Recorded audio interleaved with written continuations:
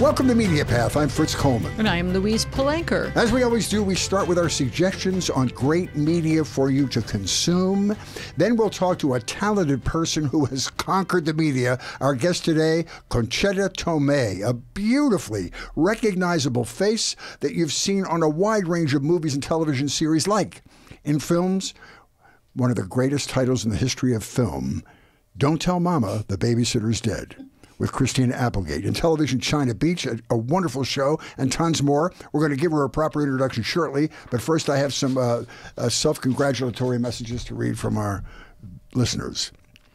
MediaPath listeners are not only among those with discerning tastes, but are some of the nicest people out there. And there's an overwhelming amount of evidence that proves it. But every time an example comes in, we like to share it with you. So here's a recent review we received on Apple Podcasts we would like to bestow on you from Lauren853, a lovely and cozy podcast. Mm. We're like a fire in a fireplace mm-hmm.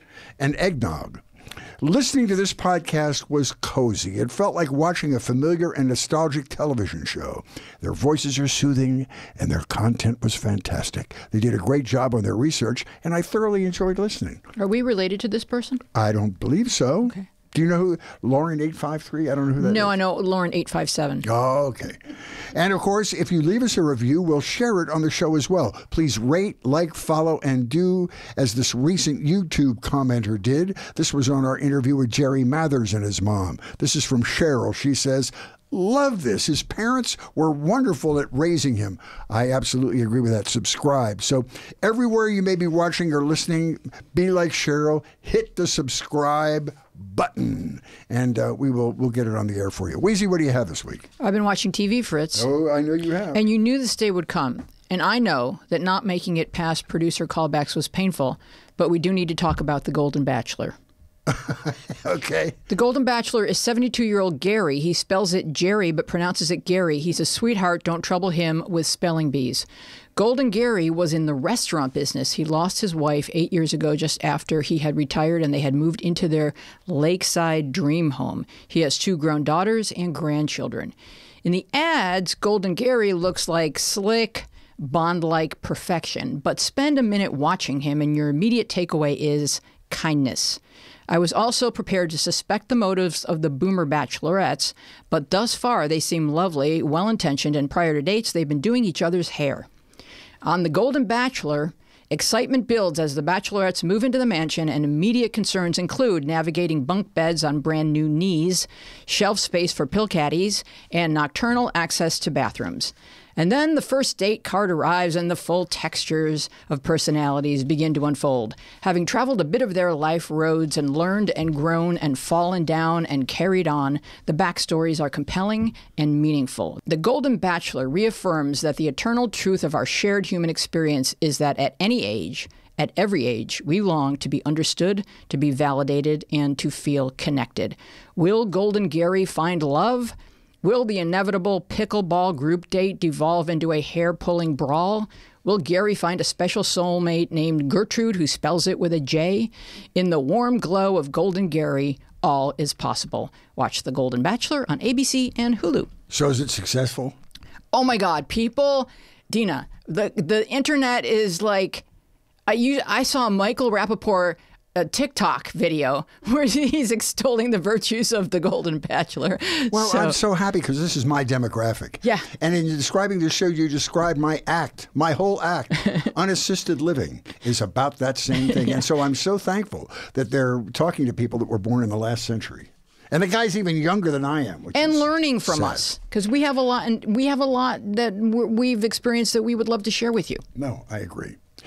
All right, I, I want to talk about um, a, a four part series on Netflix called Beckham. I, I Personally, I don't care about soccer, football. You sit around with bloodshot eyes for an hour and a half waiting for one goal. But this is a four part series about David Beckham, one of the greatest players in the history of the game. This guy's fame made him way bigger than the sport, even. The series starts out with his upbringing by a football obsessed father who drills this little boy from the time he was a toddler, never settling for anything less than perfection. Then we're into David being discovered as a football wonderkind, getting scouted and recruited by Manchester United when he was 15 years old. After that, the rocket to stardom. Now, the second episode, in my mind, is the episode. Everyone is aware of the hostility of the British tabloid press. Ruthless, relentless in their coverage of all famous Brits, the royal family, anybody in the limelight.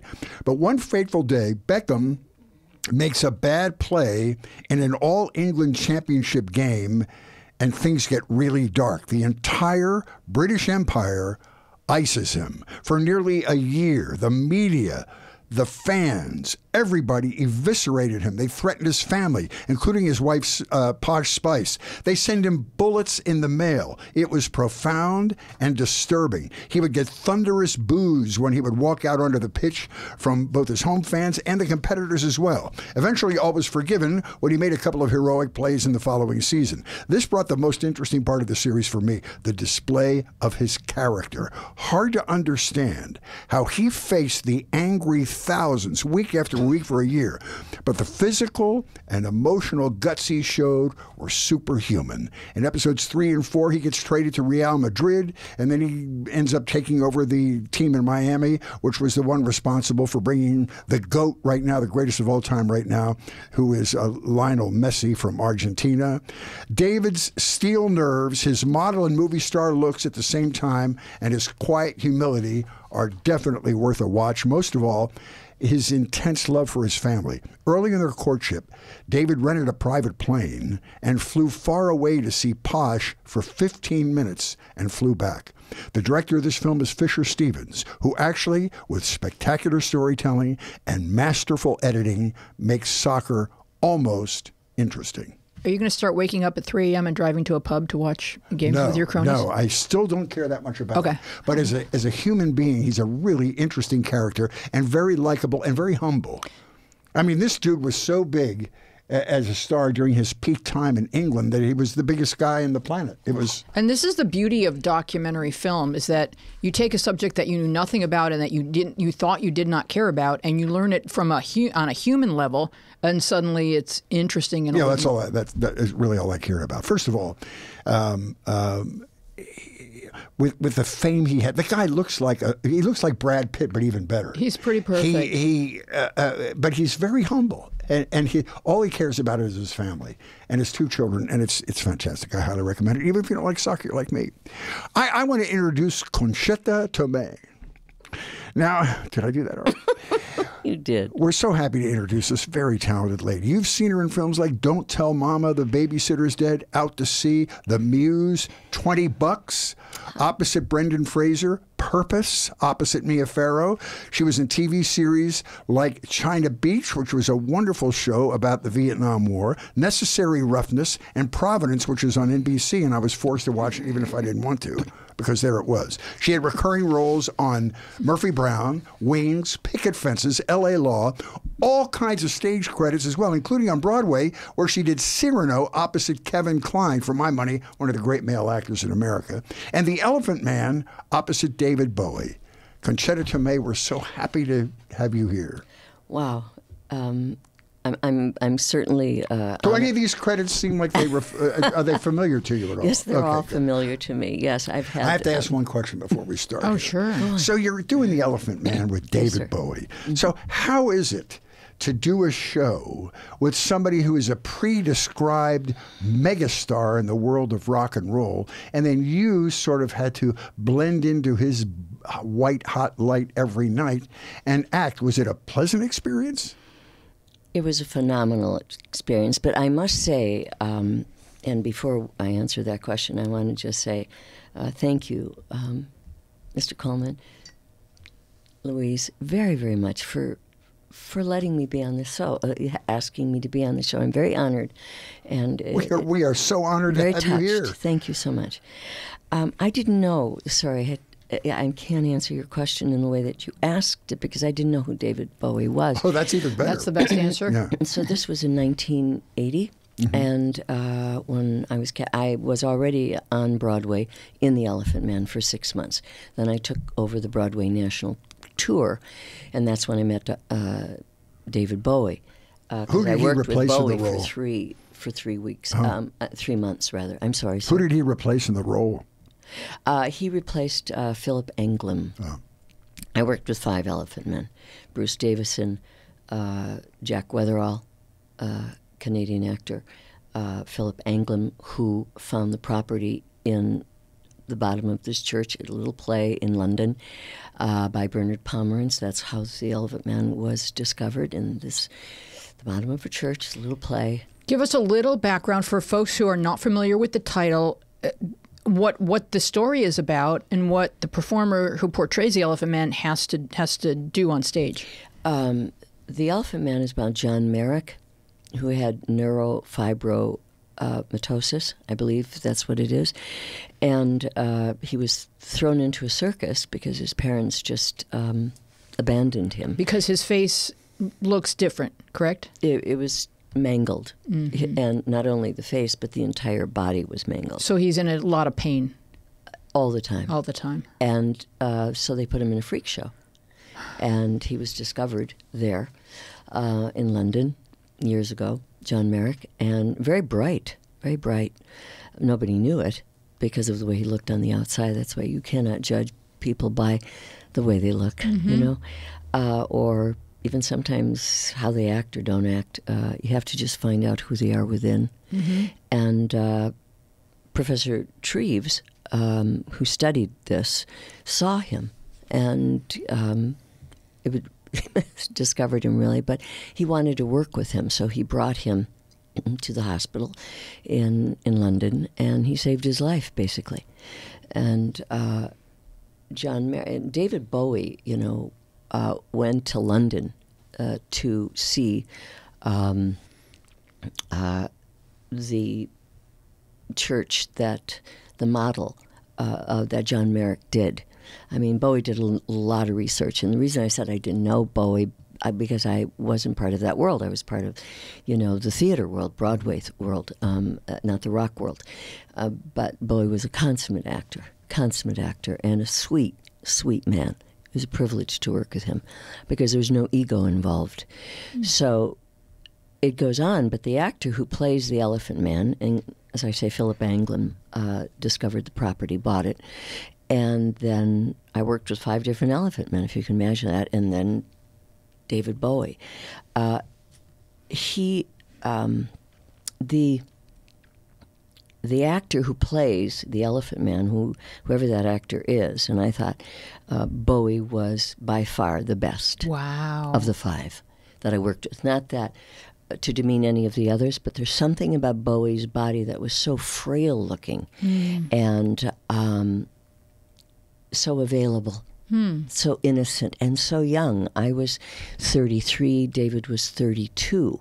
Um, and you have to stay in this, this uh, pretzel like position for two and a half hours.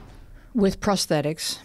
No prosthetics. No prosthetics. That's what's amazing. No makeup. No Okay. prosthetics. Only uh, uh, what lo- would look like a diaper Mm. around him, tied to the side, and um, nothing on the top, nothing on the bottom, and so he remains. And so, in order for him to act, not to act, but to you know, he had to stay in that position for two and a half hours, with the exception, of course, of intermission. It, it was a painful. It was painful it was in the eyes, to watch. wasn't it? Because he had the two. It was it was all in the eyes. all in the eyes, and in his voice, the voice of a child. Mm-hmm. And there was intellect, and there was feeling, and there was emotion. And you play what in that story? Mrs. Kendall uh, was the actress, actually, who met uh, John Merrick, um, supposedly. You know, um, she didn't spend an entire play with him, as the Elephant Man, you know, suggests. Uh, but everyone was pulled in by that. But she actually never met John Merrick, Mrs. Kendall, and she was a you know a great actress, you know, in her day. And um, but they needed a leading lady, so you know sh- they she they said that she was concerned about uh, uh, John Merrick, and she had known of him, but they had never really come together to meet face to face. Um, That's kind of you know that that's something for an actor to think about. An actress who has to work. You know, I'm wondering. Well, you have to create all of that, so a lot of that comes, you know, from being an actress yourself, myself, and a lot of it comes from what David gave to me and the other actors on stage, but mainly what David gave to me. And David was a generous, generous so actor on that. stage. I wanted that to be the. He's such a creative person who was way ahead of his time Way in the ahead. world of music, and you could just tell that he's probably artistic in every facet of his life. and also you know a guy that you could actually live next door i mean he was like i'm from the midwest i'm from wisconsin and he was like somebody that all my midwest buddies that i had known i mean just really down to earth and uh, very loving and very concerned and he, he asked me a question fritz if i may call you that Uh, that's the only thing I respond to.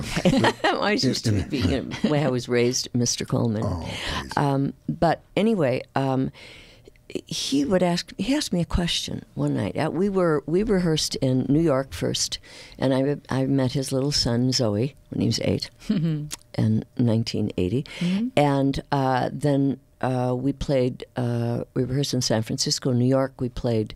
I played the Blackstone Theater in Chicago uh, for four weeks with him. I played the Auditorium, which was a barn in Denver. Unfortunately, because, and I don't mean to say that horribly, except it came out badly.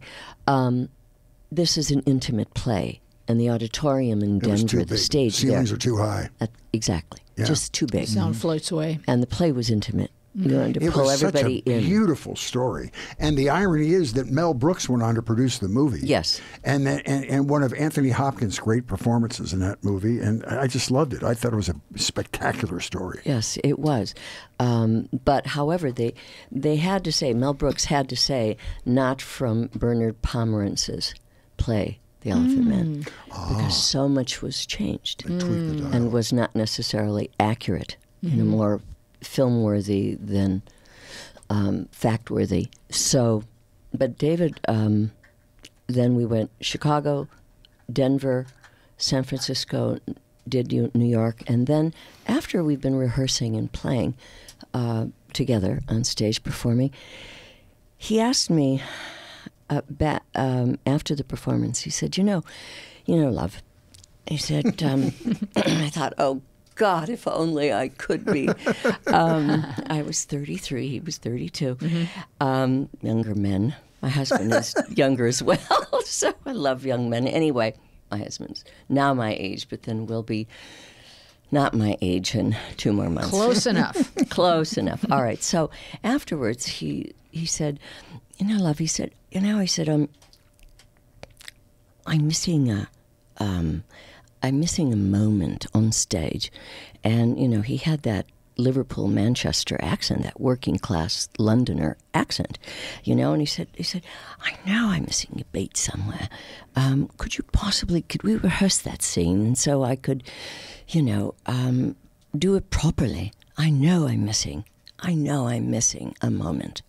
I almost, I I was astonished oh. because he was a consummate actor hmm. on stage when he was with his rock and roll gigs. Right. Mm-hmm. But I mean, on stage, he was stage worthy, more than stage worthy, consummate actor, and a generous one. So I said, "Well," I said, "Which one are you, uh, uh, you know, you asking about?" And he said, "Well, you know, I shake your hand."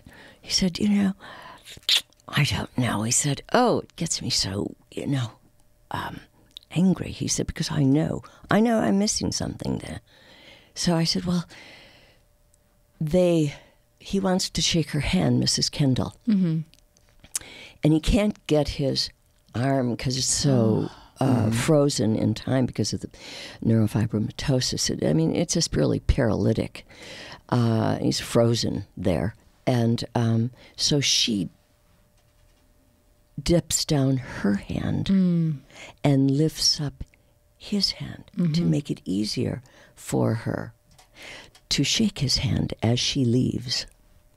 And probably he's really yearning for human touch. Yes. So there's something profound there that he wanted to find. His whole life was yearning for human touch. Right. It's a great, great, great statement. It's a big metaphor. Yes. And that's what David was looking for. Yes. And because, you know, when Anglim, who had known the place so well and, and discovered it, found it, bought it, um, you know, there was always this moment that the audience would go, and Bowie must have seen that moment. I knew that moment existed, um, but it, it's it's a really profound moment. And I said, I think what you have to do, David. I said, don't ask me because I have no questions. This is my very first Broadway play, um, and my first time working with a rock star. So, um, if I said, I think your hand has to be a little, maybe an inch or two higher, s- lower, sorry, lower, so I can scoop up, scoop up your hand. And it'll look like, you know, first you have, it's so hard for you to reach forward because you're in such pain. But you were dying to have that touch, as you said. Mm-hmm. So if it could be low, I can then reach down, scoop it up, and then we are both level. We are both equal. You mm. are not the freak. Mm. I am not. You just Mrs. described it. Kendall. You gave me goosebumps. It must have been like mm. watching it on stage. It was Oh. quite beautiful. And did that did that little Did that work? correction work? Yeah. Right. So uh, he did it the next night, Okay. and it was in the first act. And so he comes to my dressing room at intermission. He said, "It worked, Governor. Ah. It worked, Governor." so he just, I mean, you know, he was a joy. He was just a joy. And if you've seen David, and you know, especially at Conan, you know, O'Brien, and I miss. I met Mr. O'Brien uh, at the Geffen Theater when I was uh, doing a play there, and had a lovely time. And after David had passed away, you know, he he had. Um, a special for him on his show. The show was just about David. And I remember him saying, you know, he was such a sweet man. And so I walked up to Mr. Uh, O'Brien I said, Mr. O'Brien, I said, I'm sorry to bother you. I said, but I worked with, um, and it was intermission. I said, I worked with David Bowie in The Elephant Man, and that's exactly what he was. I had watched your show, and you had said he was such a sweet man. And he was. He was such a sweet man. He said, I'll bet oh, that really? meant a lot to Conan, too. That's good. It was it was a beautiful experience. And then, you know, he'd go out to drink with the cast. I mean, a limo picked him up after the show. Sure. And then some people, the stage managers, just flew in the limo with him. but, you know, he would go out. Uh, I never did. Uh, but he would go out um, with the stage managers, some some actors in the show, and they'd go have a glass of wine or whatever they did. But during rehearsal in San Francisco, I remember he said, you know, Concetta, come on, you've got to, you've got to have some fun. You Have a little You play an actress. You are an actress. Come on. so I said, all right. So I went, and it was just he was sitting next to me and laughing. He had this wonderful laugh. He laughed from his soul, Wow. and that's how he worked. He hmm. worked from his soul in his music. Wrote some amazing music way, ahead of time. I want to. Can I just ask her about one more favorite of mine, and then we Of course. give the rest of the show Sure, to you. sure. Um, uh, Kevin Kline. To Yes. me, is this. I always thought he was going to replace Cary Grant as the Cary Grant of our era. I just love him. What a talented, talented man. Absolutely. How was that in Cyrano? Well, I um, I, I that was the second time I worked with him. I, the very first time I worked with him as Queen Elizabeth, uh, opposite him playing Richard III at the Delacorte Theater, which is Shakespeare in the Park. Joe Papp, free theater. God bless Joe Papp, wherever you are. Uh, great producer, uh, great man, and uh, that was my very first role with Kevin in Shakespeare. I find, found Kevin to be so much fun. I mean, so much fun. And yet, so unbelievably disciplined. You know, uh, he would have people run lines for him off stage during rehearsals, you know. And then he'd have somebody at his home run lines for him after rehearsal. He was really disciplined. And the cast loved him. He loved working with actors. He loved what he did. He loved the stage and and we loved him because of that. That love embraced all of us mm-hmm. because Kevin never was the star, as was Do- Bowie. They never played that star role, ever. And Bowie was a rock star. Kevin was a stage and Academy Award winner. You know, I always thought Kevin should be in more films and stuff. He just seems like he just only appears every once in a while. Yes, that's he did that great Cole Porter role in that movie that I've seen about 15 times, and I just loved it. And I thought, why isn't this guy in more movies? I know. You know, I don't understand uh, a lot of what goes on in this business, Fritz, and how people see actors or actresses. Uh, if they're going to be bringing in a lot of money for a film, if not, I mean, I worked. Uh, you know, uh, they're going to be is there star quality. Well, Kevin Kline certainly has star quality. You walk in a room, and the energy has changed. Uh, Bowie, the energy's changed. Dennehy, Brian Dennehy, fabulous man. Adore Brian Dennehy, the dearly departed Brian Dennehy. Um, and also a man you could sit down, have a beer, glass of wine with, next door neighbor. You know, no ego with Dennehy. And you sometimes wonder why Dennehy was always, you know, the second banana. And there was always this lead. He always he was with either Harrison Ford, who had all that, and Dennehy had the range. Kevin had the range, has the range. I think and I'll never understand the question that you just asked, what that answer is. Well, I think I know the answer. Tell- please tell me. Sure, I'll speak for those two guys. Not a problem.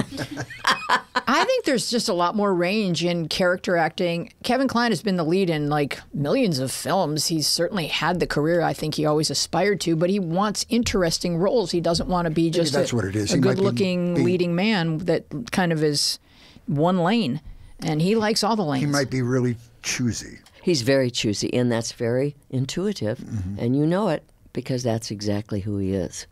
You know, um, he'll turn down roles unless they mean something to him. You're absolutely right.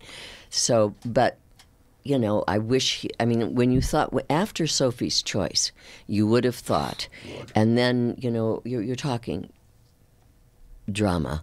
I mean, it goes beyond drama. Yeah. I mean, he lived that role, as did Meryl.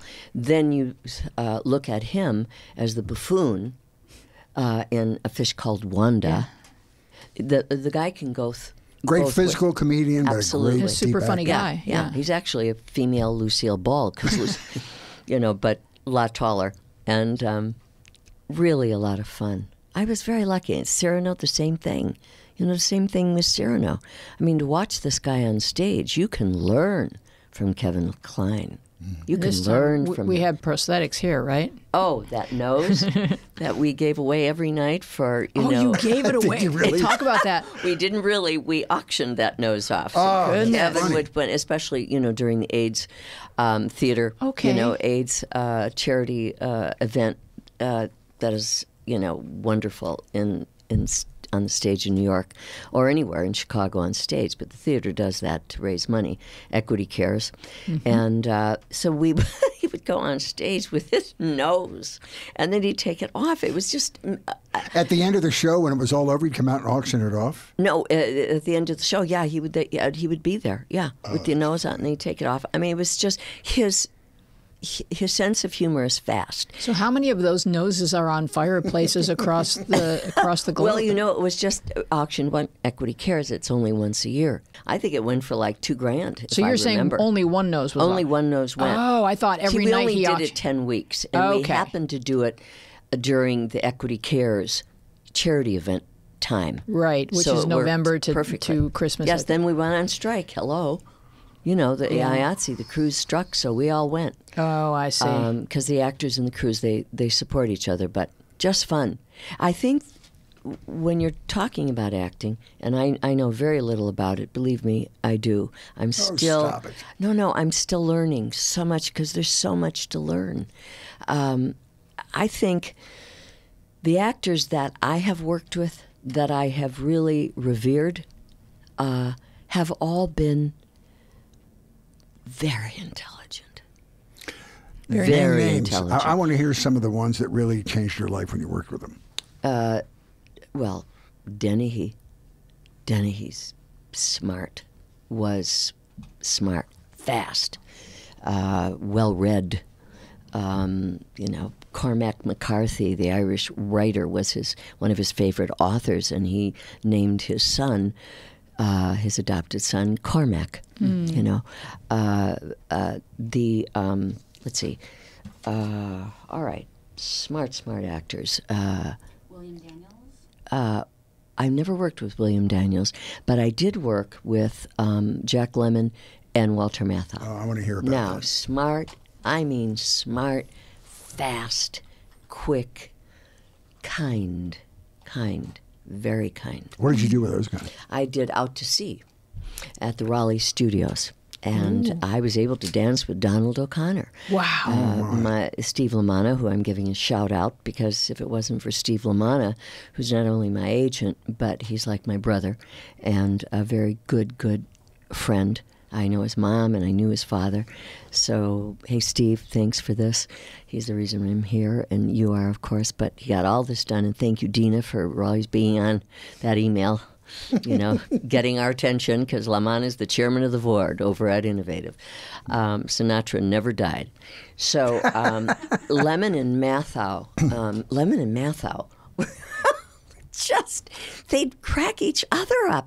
Except Lemmon couldn't t- couldn't keep a straight face with math. I mean, all you have to do is It's look at a rubber face. I mean, it's- Mr. Math, I had this rubber face, this kind of, you know, um, that crazy glue, not crazy glue, cra- crazy, um, what do you Silly putty. Thank you, darling. Silly putty face. I'm yes. a boomer child. So all you do is sit there, and they're doing a scene. I was, I saw it. I saw it. I thought this can't be happening, and I thought how wonderful because you know what? It made them like me. I was. I thought, my gosh, they're people. Isn't that nice? Hmm. They're just down to earth. So they made everyone on the set comfortable. They had known each other for a hundred years, and then they embraced all of us in that friendship and all of that talent with us on that studio set. But that brings out the best in everyone because mm-hmm. You're right. when you, when you feel safe and you feel loved, you, you, you try things. Well, um, let me tell you, when they were doing a scene, they'd have to say cut, cut between Matthau and Lemmon because Lemmon couldn't keep a straight face. Harvey He'd look, Korman. I mean, this is a guy, I'm a friend of his for many, many years. You know, off stage, on stage, off camera, on camera. He knows Matthau. He looks at him. Matthau does the reading of a line, and he can't come back. Cut, cut. It's I'm like honestly- Jack Benny and George Burns. Yes. Yeah. Exactly. Yeah. Exactly. Yeah. And you can. And there's some people like, and even you know, um, Olivier. I read uh, uh, that he's easy. He goes up easily. You cannot do anything funny on stage because Olivier, even the uh, you know he has the concentration, or had the concentration of Spencer Tracy, and nobody had better concentration than Tracy on a stage. You could drive a Ryder truck through the stage. He'd pick up. He wouldn't even know it went through, and uh, Olivier the same way. However, the thing different between Olivier and Tracy is Gielgud said, you know, Larry, you know, Larry just, you know, he could get laughing so easily on stage. that. And we had great fun with Larry. I mean, we're talking, you know, Lear, Othello, all these things. You don't want to be laughing, you know, doing uh, iambic pentameter, then try to find to pick up, you know, the beat, so Yeah. to speak. But that kind of, um, and they were all well. I mean, when you think how talented uh, a lot of these actors are, I mean, Lemmon played the piano. Uh, uh, Concert. Yes, and Kevin Kline concert.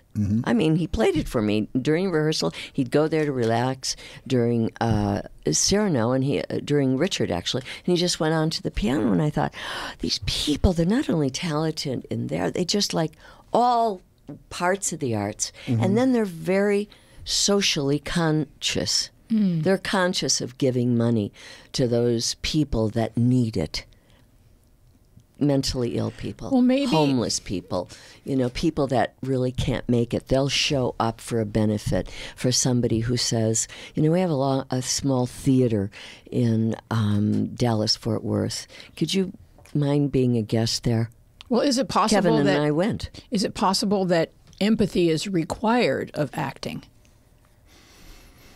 I think so. It has to be. and so it has to be. it just makes your heart full, yes. and you you are able to easily relate to others who aren't you, who aren't in your particular circumstances, who are in their own circumstances, and you you've portrayed them. So why wouldn't you help them? I th- that's that's beautiful, Louisa. I think um, it can't be about you. Right. It can't be about the actor acting. So when you were back at the University of Wisconsin, Oh, and- yes. and and you knew from a very young age that you wanted to act. Who were your signposts? Who were the Oh. north stars for you? Who did you say, God, if I could have their career? Well, uh, my signpost was Bette Davis because I thought Davis could do it all, could do it all, and uh, of course Hepburn, you know, uh, but a very different type of talent. Um, Ingrid Bergman uh, was a, a, wow. Um, Simone Signoret, what a wonderful actress she was. Uh, Fonda, Jane Fonda was great in everything she did, still is. Uh, on the waterfront, Help Me Fritz, opposite Brando, the woman who played on the waterfront. Uh, Eve Saint Marie. Yes. Uh, yeah, uh, Marie, uh, E- Eva Marie Saint. Eva Marie Saint, yes. Okay. That was my dyslexic. Thank you. Eva. Marie Saint, another great actress. Mm-hmm. You know, Ava Gardner. Oh, So, two questions. Uh, Do you think your Midwestern upbringing gives you a sort of a sense of the soul of Americans and made you a better performer? absolutely. Yeah. No doubt. And then you, you you went to the University of Wisconsin. Then you went to the Goodman Theater in Chicago, and, and I mean Chicago's got some spectacular theater. Fabulous. Steppenwolf, Second City, all Yep. these great things. So you really came up in the that was probably ground zero for some of the greatest theater in America. Absolutely. Yeah. I mean, talk, talk about that experience. Well, you know, before I uh, went to Chicago uh, or New York, um, I taught school. I, my, you know, was Bachelor of Science in Education, minor in Communication, Liberal Arts, and I taught seventh and eighth grade.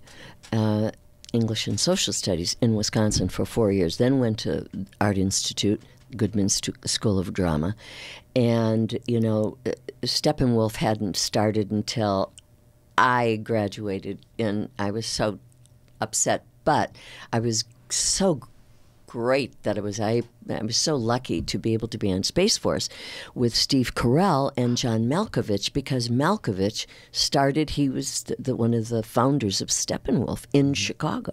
In Chicago, great theater in Chicago. Gary Sinise. Gary Sinise, another one, wonderful, uh, wonderful man. Uh, Met uh, him many, many times. Uh, Joey Mantegna, ca- uh, one of the nicest people in show business. Isn't he? Yeah. Yeah, I, I, I can call him my friend. He lives in Toluca Lake, as do I. Oh, I just love him. He, I have a picture that we took together because he went to the Art Institute and the mm-hmm. Goodman School of Drama. I mm-hmm. have to, if I may, Please. Joey, this is the funniest thing I have ever heard in my life, and of course it came from him. We there was a, a, a mutual friend that built my mom and dad's guest house here with uh, my beloved husband Norman Moltar behind our house because I brought my mom and dad from Kenosha, Wisconsin. I didn't want my dad to shovel snow anymore. Right. I wanted him to plant his gardens, to do his artwork, to uh, follow his own dream because he helped me to follow mine. Oh, bless your heart. So nice. So, by the grace of God, television money, theater money, as much as I love theater, television money, yeah. Hello. built the guest house. You're right. You know, the real Providence, you know, built that guest house. so, um, anyway, the contractor who did my guest house also did a number of Mr. Mantegna's home. And we go, I, I always knew him as Joey, but I will refer to him as Joe. Can I call him So Joey? we go to this contractor's 75th birthday party in the valley, and we have it's at this lodge or whatever. And I walk in. I did not know Joe would be invited. I'm I didn't ever thought. I just thought, well, my husband's good friend is Nick Politis, and another maritime attorney, uh, as my husband was, and uh, he was related to the contractor, Dave Hansen. So the moment we walk in, you know, I hear Concetta, Concetta. And I thought, what the heck? And it's Joey Mantegna, Aunt Mantegna, in the round table, one of his tables. The room was filled. And I said, Concetta, Concetta. it was a cross between Chicago and New York, but it was definitely Sicilian because that's who he, this guy is. Um, so I said, Joe, Joey, and I said, uh, you know, so I go over to him. He said, hey, he said, I just saw Vinny and whatever. So he said, come on, you got to sit at our table. So Norman and I sat at the table. I hadn't seen Joey in years and uh, a lot of mutual friends who had our same drama teacher, Dr. Bella Itkin. Um, her father was David Itkin and studied with Stanislavski in Russia. I mean, it goes so far, so many stories. So he's telling the story. We're talking about.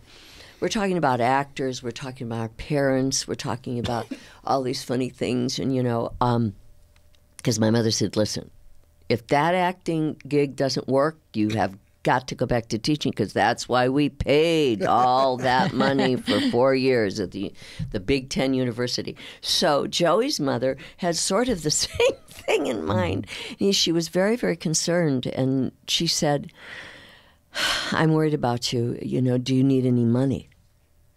True story. Wow. I'm worried about you, Joe. Do you oh. need any money? And he said, Ma, what are you talking about? I'm on television. Yeah. and she said, I know but you work one hour a week. That's funny. I have a Joe Mantegna story really quick. Please. Remember when the Apple store was a new thing in the mall and yes. you could walk in and they had those big tables mm-hmm. and they had an iPad on it for the very first time ever? I'm in there, Fritzy, with, with Ian, with Ian Broyles, our, who was our doing tech, tech for uh, Fritzy's play. We're, we're at that big table and there's an iPad, the first iPad ever. On the other side of the table, we both spot Joe Mantegna. And Ian, the giant brain whiz child that he is, starts tapping on the iPad, Googles Joe Mantegna. So then we're looking at Joe Mantegna on the screen and on the other side of the table.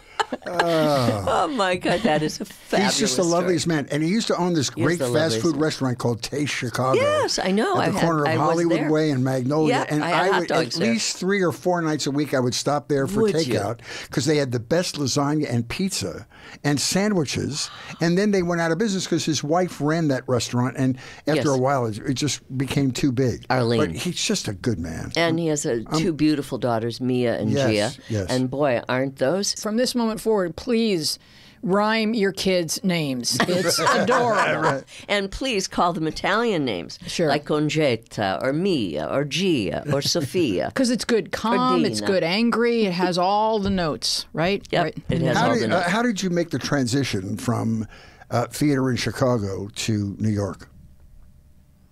That's a wonderful question. I never thought about it. I well, just thought. I'll ask another question. What great it's a terrible thing, you know. I, I, I don't know if it was my age, and I didn't start. You know, I was 18. I didn't hit the streets in you New were York. a teacher for four years. I was a teacher for four years. I went to drama school when I was 26. I graduated at 29. I went. I hit New York when I was, but I did Chicago theater first. Then I hit New York when I was 33. Were you and cast then I hit for California, New York, Los of... Angeles television when I was 40. Mm. Were so you I cast, got a late start. Were you cast for New York out of your work in Chicago, or did you just go and take a chance in the Big Apple? No, what happened was um, I was cast. Oh, no, you're talking about that. I jumped with no net, but I had a net. My background, my childhood, my values, my belief in God, mm. uh, my mother and father. Talk about your parents. Um, so there was a net. There was a net of love. Uh, so I never. That's all you need. I was. That's all you need, and I, I never was frightened about that. I, I just there was no fear at that time. Mm. You know, I got to New York when I was 33, not when I was 18. I just landed. But tell us about your parents. Who who were they? My mother uh, was Dominica. Uh, what a beautiful name. Britelli, uh, B R I T T E L L I, and um, my father was Henry Tomei, and uh, my father's people were from Rome, and my mother's people were from Calabria. As is Steve Lamont, my agent. Calabrese. Yes, he, he was from Reggio. My mother, my grandmother Concetta, or Concetta, uh, was from Cosenza, and my grandfather Gaetano, my mom's dad, was from Catanzaro, and it's uh, Provincia di Rocca Bernarda, provin- province of uh, uh, Rocca Bernarda, and he was a shepherd, um, you know, herding sheep uh, back in Italy. Is that your father or your grandfather? That was my grandfather. Wow. Yeah, my grandfather Gaetano. That was on my mother's side, and then um, my to- Tomei. They landed in. Um, they came uh, from Italy and landed in Michigan. You know, and my father, my grandfather, my mother's parents. Uh, landed in Kenosha, Wisconsin, because he came in the summer. Little did he know what was going to happen in December. Oh, my We're only 50 miles from Chicago. He thought, oh, bellissima, Calabria, summer. And then all of a sudden, it was winter, Yeah. Right. you know, in December. But it didn't make any difference. They were so happy to be in this country. They were proud to be in this country.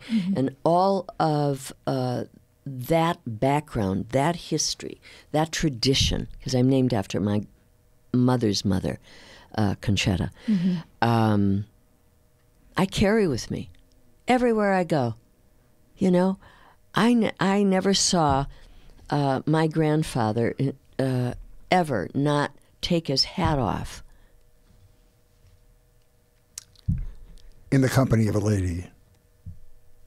When the American flag, Oh, okay. That's wonderful. when the American flag passed by on the mm-hmm. 4th of July. Mm-hmm. He knew what it meant because he had lived through fascism. Yeah, Uh, I've always said that uh, immigrants Absolutely. appreciate what we have in this country more than people that were born and raised in Scranton, Pennsylvania. Absolutely. They really do. They They, do. have no idea. And these people that are fighting against democracy right now have no idea. Go talk to somebody that was in Berlin in 1935 or That's right. someplace else. That's right. They have no idea. Absolutely none. Wow. Or lived in those, uh, or, or lived in Auschwitz, Yes. Died there. How was your father employed? My father was a policeman, Oh. and he was a great cop uh, because he believed to protect and to serve. He lived his life like that. Um, So you felt protected. always. Yeah. Did you, uh, were they supportive of your uh, theatrical? I wouldn't be sitting here, Fritz, if it wasn't for Henry and Dominica Tomei. Would not be sitting here. I think they've prepared you for the game that we're about to play, which is oh. called Oh boy. which is this is what the American dream was meant to was meant to inspire. This game is called IMDb Roulette. I mention a credit and you tell us who you played and what you remember about the experience. All right. All right, so let's begin with Dynasty. Ooh, Good answer. Woo, Joni. Joni Collins. So she she was a fireball, huh? Yeah, he she sure is she sure was. So do you remember who you played? uh, I I it was a guest star, uh, a very short scene, only one scene. Oh, Yes, uh, and, but when I had, Lordy, that's that was actually the very first television thing I had done wow. when I came here because I came from the Normal Heart. I had done the Normal Heart with Brad Davis, Larry Kramer's great play uh, about the gay men's health crisis, and so when I landed here, the very you know I did theater here, and then my very first role was on Dynasty. Then the second one was Falcon Crest. Those were two of those soaps. But I had never been on a sound set before. So I arrive at CBS Radford, and there's this, you know, soundstage. They're all numbered. So much to learn. And then I thought, my gosh, don't you'll you'll remember it all. Just know that you're living the dream because your mom and dad opened that door, mm. opened that magical door to walk into the you know into that that garden of beauty with learning so much from so many people and then being able to give back whatever talent you had to share it all so it mm-hmm. always keeps going forward and uh, so I walk into the I walk into the set. I don't know if it was 25 the soundstage. I open the door. I said, "Is anybody here?" Cut. That's it, Fritz. Oh, seriously? Cut. Oh, that's funny. It was a little too quiet. So and then and then I heard Miss Collins say, "Who did that? Uh oh. Who's on this stage?" So what I did was, I ran around trying to find a hiding place on that set. Seriously, it was embarrassing. It was really embarrassing. No one found me, and I never said.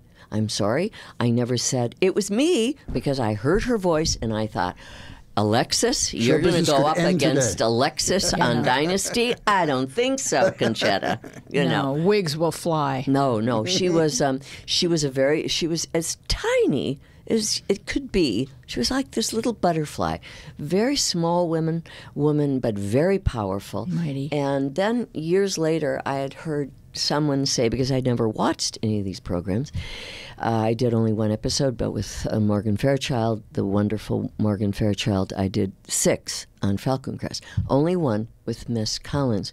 But they said, Concetta, there was not one episode in Dynasty that anyone went up, guest star, whatever, against Alexis. You were the only guest star there that went up against her character. So my character did because I'm, you know, as you may have guessed, I'm pretty, I'm strong and I'm very proud of being a strong Italian American and a woman. Yay, women. Um, yay, strong men too. What was Um, the scenario of you going up against her character? The scenario was I didn't agree with anything that she said in the scene, and she was getting more pissed off. Excuse me, uh, she was getting more upset because it was written like that, and she, for some reason, didn't wasn't aware of that. She didn't think somebody would go to bat with her. She didn't want to be challenged. she didn't. That's it. That's exactly it.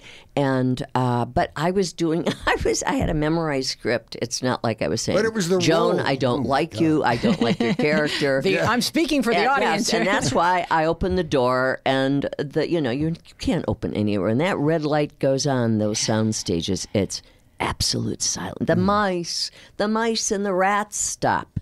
They don't even run around anymore. So, um, uh, yeah, in that regard, yeah, she didn't like being challenged. And that was the word actually. Interestingly, you should say that. You're terrific. Thank you. Um, uh, that was the word that they used. Alexis, nobody challenges Alexis on Dynasty. No one, can shut Concetta. I said, well, all I did, I memorized the lines. I Well, she was in, starting to and I- believe her own mythology. That's kind of sad, really. Yes, Oh my God. Yes, but I, I did.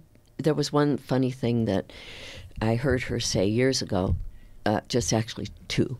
Um, very funny, and um, you know she's now Dame, Dame Collins. Okay. Oh right? man, that's all she needed. Can you imagine? No. And That's all um, she needed. that's all she needed, and she got it. and so um, there, it's a, go- it, they go on and on, as we know, about Meghan Markle and Prince Harry, and she was interviewed, and she said, "Oh my God, are these, are these, are these people still breathing oxygen?" I thought that was brilliant. and I thought, well, maybe she's nicer than I thought she was. Maybe I misjudged her. She had a great sense of humor, but uh, I never saw it. Maybe she's I didn't mess around, you know. I, No, and no. I, and I wasn't asked back. That character, Oh. well, I was not asked back. But what's interesting is the producers liked you because you go on to do number two in IMDb Roulette, Falcon Crest. Oh yes, six. So tell us who you played there. Well, I played a psychiatrist with Morgan, and uh, they had three episodes planned. And I thought, isn't that wonderful? You know, three episodes. Now I can buy a car. Because I had um, $3,000 saved, and the Volvo that I wanted to buy, the 1980 Volvo, uh, was $6,000. Oh.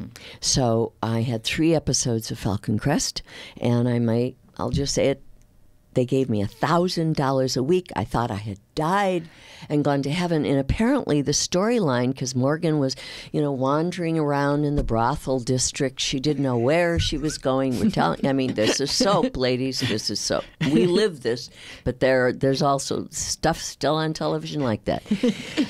Sometimes we often live these soap operas. So she's walking around aimlessly. She doesn't know what's happening, and um, and but she was abused. She was abused. Um, I think uh, by her dad, and um, so she had so many things. Well, the fan mail that came in because of all of the women that were abused by either their uncles or their fathers uh, or their teachers or a family member. It was unbelievable. As it it was like as if Bowie had guest starred. Seriously. So okay, they then gave three more episodes. They wrote three more, so I got six. And you were a doctor. thousand dollars an episode. I was able to buy So my that's three Volvo. Volvos. And you play- six thousand dollars. And you played Dr. Estelle Kramer, so you Yes. you were someone that was helping her. Yes, I was Okay. the her psychologist. Okay. And we would sit together and uh, uh, These another days- sweetheart of a, of an actress, Mm-hmm. sweetheart I know. of a I human played. being. I played. Uh, I was on a Bob Hope special, and she and uh, Really? and Tony Randall played Brooke Shields' parents, and I was dating Brooke Shields at the time. Oh, and she I played the played mom, her and she- mother. She, was very, very lovely. I need to watch this episode of Bob. I mean, Oh, you're I'm talking telling about you, they, yeah, they're still talking Emmy. They're Emmy There's hauntings. still so much buzz. so much buzz. Now, I let mean, me but ask you Brooke this. Shields and So- Christina Applegate, all these, you know, these children that had these really controlling mothers, Oh, yeah. as did Judy Garland. Yeah. Judy Garland's mother was a monster, Mm-hmm. apparently. and so was the studio head. Yes, they Louis certainly B. were. Mayer's the one that got her on drugs to keep her awake to shoot movies. and That's stuff. right. Or to my keep her- or to read keep her the th- entire autobiography of Louis B. Mayer. Yeah, to keep her thin. Yeah. That's right, and to And keep her hyper 12. and keep her going. She's those trying to 12 go through puberty, you hours a day. guys. terrible. Stop it was it. just terrible. Absolutely, So puberty. I, I've only known you for two hours, but you, but, but what I'm certain Feels like a lifetime, right? No, Fitzy? no, I, I, you have such a, a, a warm heart. You, you really exude love. You really do. And so that explains to me why you have a pet um, area of, of philanthropy, which is pets. And talk about working with pet adoption and pet rescue. Well, before and, she does that, Fritz, you have to at least bookmark IMDb Roulette because oh, I'm sorry. we've only done one and two. Oh, okay. Well, I was just thinking. I was thinking in terms of time. So, well, let's do. It's seven thirty. All right, I'm going to say the name. Okay, so here, this is going to be this is going to be where you get to pick. I have I'm sorry. four more, but you get to pick one. I built up to that beautiful emotional thing, and she submarined that sucker. yeah, it really did. Give me time to wipe away. Torpedo. All right. so you can either talk about uh, Diagnosis Murder, Ellen, Star Trek Voyager, or Arrested Development.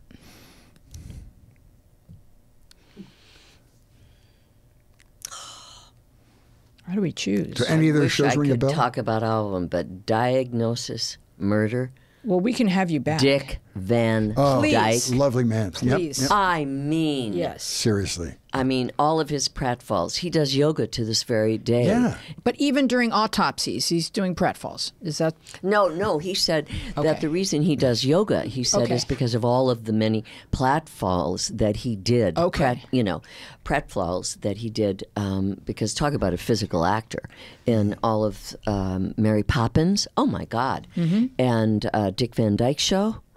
And but I mean, just oh my God! Talk a about a barrel man. of clowns. Talking like opening the door of a clown car. That's like working with Dick Van Dyke. so? He likes to stay with you, and he and he loves to talk and visit and find out who you are. Absolutely, absolutely. Uh, uh, what were the other ones, really quickly? So we had Ellen. You were on Ellen. You you're a lot of doctors, professors with Diagnosis Murder with Dick Van Dyke. You were Sister Regina. I know I was a hit woman. I loved You it. were a minister on Star Trek Voyager, Minister I was Odala. Minister Odala. I was in charge of the fourth quadrant. You often have a title. They give you a title. In charge of the fourth quadrant. Let's talk about that. Uh, Miss Minister Odala. Oh wow! and sorry, this is a plug, but Matthew Kaplowitz is as generous and as lovely as you both are. as host and hostess. How's that possible? Oh. We're pretty And- good. I love that humor. Oh my God, the little snark in you. Now, I don't want to suck the life out of this whole conversation, but who is Matthew Kaplowitz? Well, that's what I'm about to tell you. Fritzy, that's what I'm about to tell Oh, you. okay, I'm sorry. All right. He does a podcast Okay. called Trek Untold. Oh, my gosh. Yes. So, and he wanted to interview me Perfect. because of Minister Odala. He's a Trekkie. Well, I've heard there's Star Trek enthusiasts. Is, Oh, is that my not the case? Gosh, and I only did one. What? Star, yes, and I only did one Star Trek. I did the Voyager, only one. But Minister Odala, nobody forgot her because she was. And the reason I did it, I had to audition. Many of the roles that I've done, for any actor listening or actress listening, and younger than myself, because I'm sure all of you are, you have to just believe in yourself and prep really as much as you can and expect the unexpected and just have fun. Mm-hmm.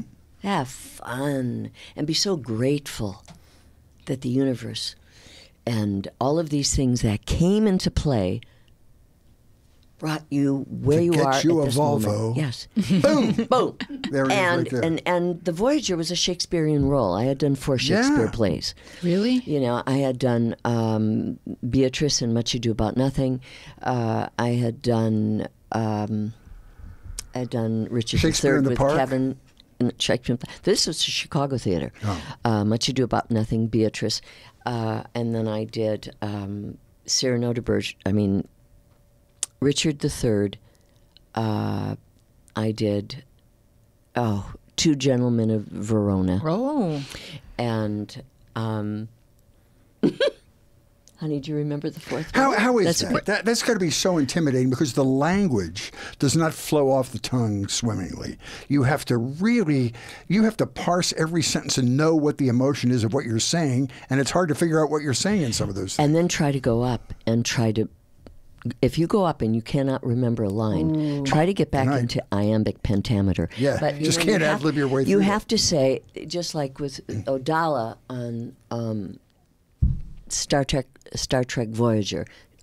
I love that the largest or the largesse of it all, and she was a. It was like doing a Shakespearean role. And it was tougher than heck because you had a 4:30 call time. You met Michael Blakemore, who did my makeup for five hours.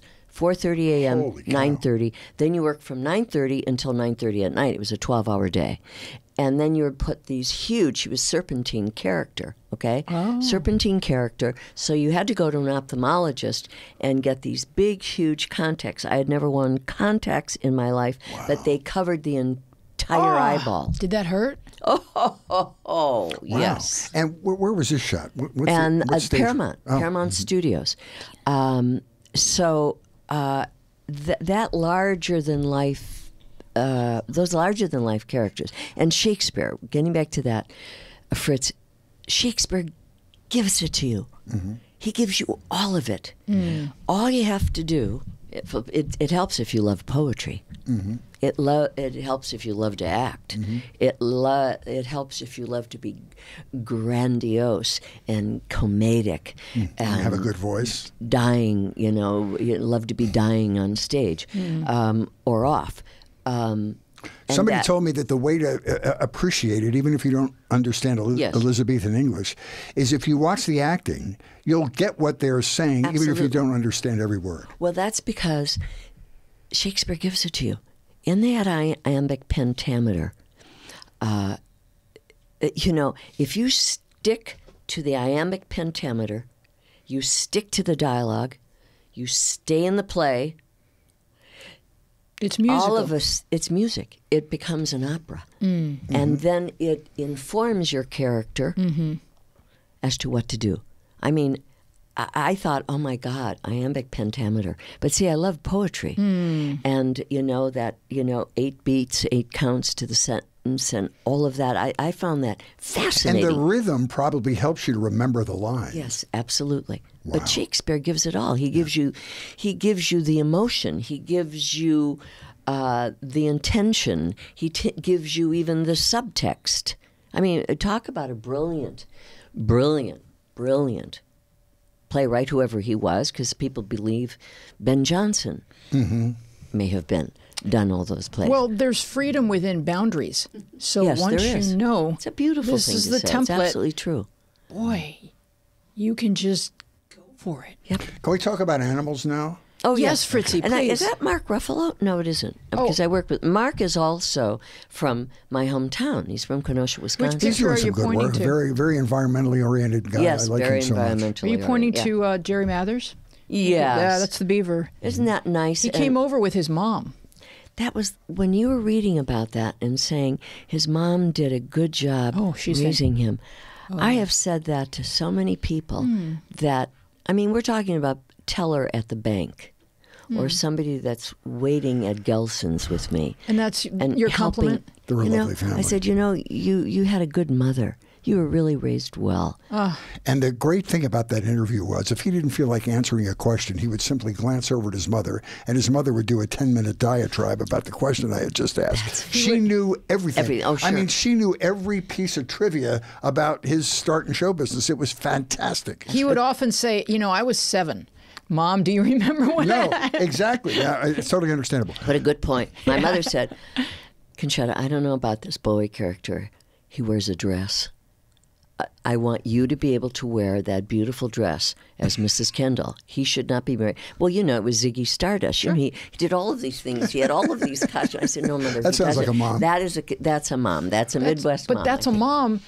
But You have to wear the dress. You've got to wear that beautiful dress, Holly. You've got to wear it. Holly's my haven't we middle name. all, like in our time spans here on Earth, being here during such an interesting era, haven't we learned so much about the gender spectrums oh, huge. and that everyone should Another- ju- dress how you feel? Absolutely. Another world, really. Mm-hmm. But another place People to can't ex- see that I'm wearing culottes right now.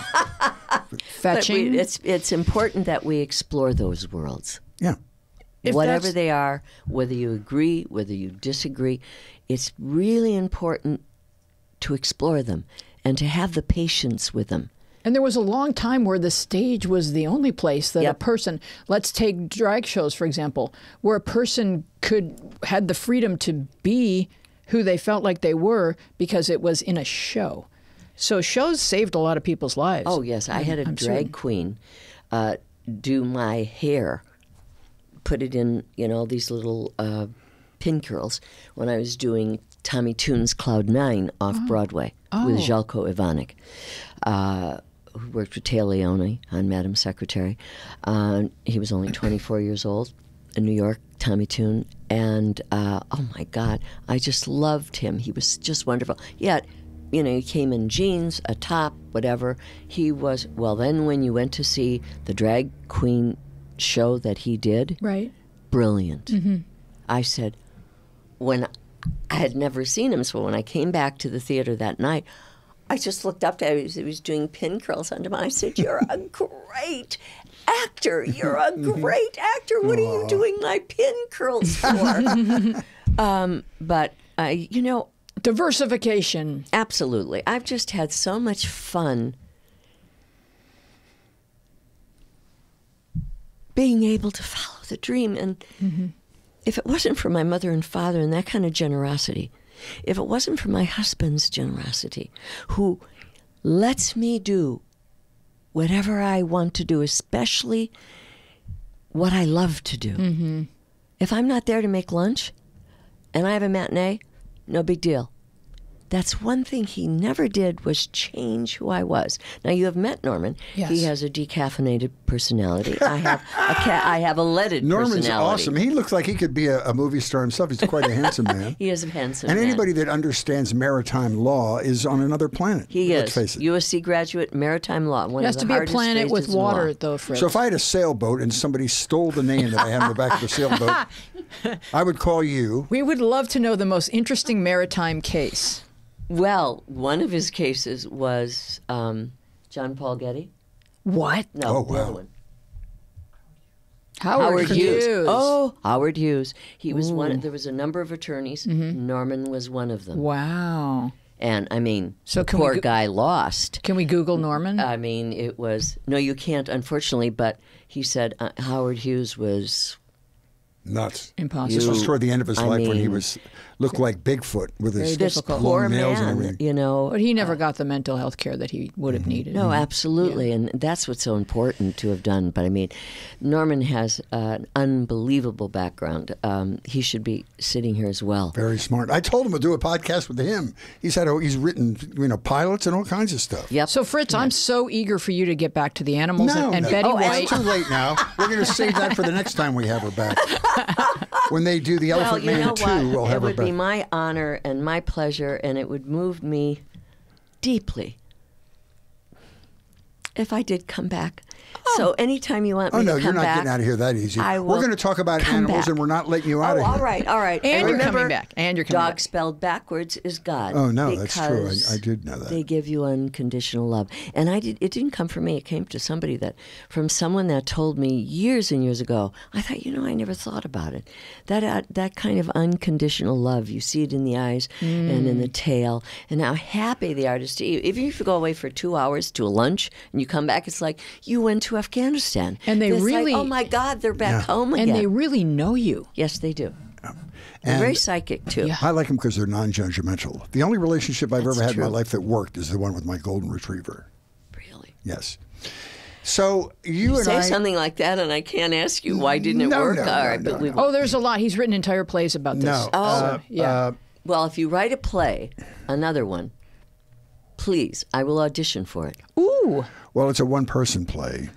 However, you I was well, honored I've to have you there. Fallaci, and that was a one-woman The thing show. about the one, yes, in one-person presentations, the, the cast parties are really boring. Hmm. Not if you know the people that I know. But I wanted to ask you because you have a great passion for animals, and you Yes, and I I, worked with a great Betty White, Oh. whose whole life, other than performing, was about animals. I, I co-hosted the zoo fundraiser with her several years in a row, but you worked with her on a more like grassroots level of raising for all kinds of well, charities. she Betty uh, uh, White was also an only child, like hmm. myself, From the Midwest. as was I. Too, right? in the Midwest. Yeah. Mm-hmm. as was Fritz, I. Yes. really? It explains so much about me. Wow. After you get to know me, wow, right? I know, but you know, only children are real usually snob, uh, snobby, and it's all about them. And you know, it's Garrett, our not intern about is an only child. Garrett, our intern. Do you have do you have a intern? special love for animals? I love it. So maybe only children oh, really. Oh, that's a really because it's the companionship of, Yeah. of being an only child, and And my dad rescued animals as a cop. Oh. You know, if there was a dog that oh. came across, he'd stop traffic. He'd pick up ah. the dog. He'd bring ah. it home. We'd find a home for He'd it, be or a he'd find the TikTok owner. sensation. so Animal rescues on TikTok. Check into it. Oh, Tell me what you You'll would like to night. plug or call attention to now in your animal work that we could mention. Well, I think I would have to, you know, align myself with uh, Ricky Ger- uh, Gervais. Because he's a huge, huge animal rights activist, and he will. Um, unfortunately, you know, the language is something I wouldn't use, but um, it's about abuse, you know, and about, you know, animals, children. Children and animals are the innocents. It's about what you have. It's love, and that's what that's the bottom line to Mm-hmm. Everything. It's the bottom line to everything. But these, it is the bottom line to everything. But these innocents, cats, dogs, children, they have Mm-hmm. no voice and no choice. So abuse is horrific to children. What's the name of the elder organization? abuse? Does he have his own organization? Oh, Ricky Gervais, he's he's huge. But I mean, is, is, there a name of his group or? You know, to be perfectly honest, I don't know, but the, the Google. organization that I do know is Best Friends Animal Sanctuary in Kanab, Utah. Okay. They have over 1,500 animals. Uh, I met them 30 years ago in Malibu when they started out with a card table and giving $5. And I happened to be on China Beach about nurses in Vietnam with Dana Delany, Marg Helgenberger, Michael Boatman, Jeff Kober. Terrific gr- group of love that actors. show. And so um, uh, Francis Battista founded it and married a, uh, a lovely uh, woman, Silva Battista, and they both followed their dream together. I mean, from a card table in front of Hughes, which used to be you know, which is now Ralph's in Malibu. Five dollars, ten dollars. Now they have this unbelievable sanctuary, uh, fifteen hundred animals, wolves, a rooster that has been abused. It leaves LA and they take them from by car. They come every month by car and they take animals that have been abused, the unadoptables, the unmentionables, you know, the ones that have and the have-nots, uh, and they bring a car and then they drive them back. To uh, uh, Kanab, Utah, and find homes for them. If they are unadoptable, they keep them there the rest of their lives. I, I think Southern Can't California has one of the great pet overpopulation problems in the world, and I never realized the the intensity until about. 20 years ago, Spay neuter, you mean? spay neuter. uh, You know, since. I've been in broadcasting, we used to do these PSAs. Be sure to spay and neuter your cats and dogs. And I never got Yeah. the sense of how important that was. And then I went to adopt a golden retriever. Mm. And I went to Friends of Pets in Sun Valley, Ah. where they uh, they housed. Uh, water dogs, Weimaraners, uh, Oh, Labradors, and Golden Retrievers. And so I went in there, and there were like 200 dogs in this facility. And. I walked in there, and every one of those dogs thinks for a brief second, this guy's adopted." here to take me out of here. And they bark and yelp. And I, I found this dog that was a year old. He had not been abused. He was Oh. with a farm, and this was when there was a financial downturn, and these people had several dogs, and they couldn't they couldn't afford to take care of him, so they put him in there. But they weren't in any way abused, and he was my best friend for twelve years. But I, I do become your best it's friend. so uh, it's it's important for people to understand instead of buying purebreds how overpopulated we are with pets that need homes. Absolutely, and they get and you really, you know, you must go to the shelter. I there, there's Yes. no other choice, and uh, or if you go online on the website, they have Labrador Retriever uh, adoptions. They have purebreds that they dump. And you can find a gorgeous lab, a gorgeous, uh, if you're into pit bulls. Um, and I, you know, I love the pit. Uh, I think they get a bad rap because the gangs in LA fight them That's for how no they reason at train all. them, right? I mean, they, they don't have to be as nasty. No, as they do not have to be. And I've known be. only, I mean, every pit I've ever met was so friendly. Mm-hmm. You know, I mean, it's like Will Will Rogers says, "I haven't met a man I didn't like," and and it's so true. I haven't met a dog I didn't like. I haven't met a cat I didn't like. Squirrels. I mean, you know, you have a little peanut, they come up to you. They don't. They are so, and that's what you said before, Fritz. They're non-judgmental. They don't care the color of your skin. They don't care your religion. They don't care how much money you have. They just care about what you said love. Love and my mom and dad were all about love. And so we always had animals.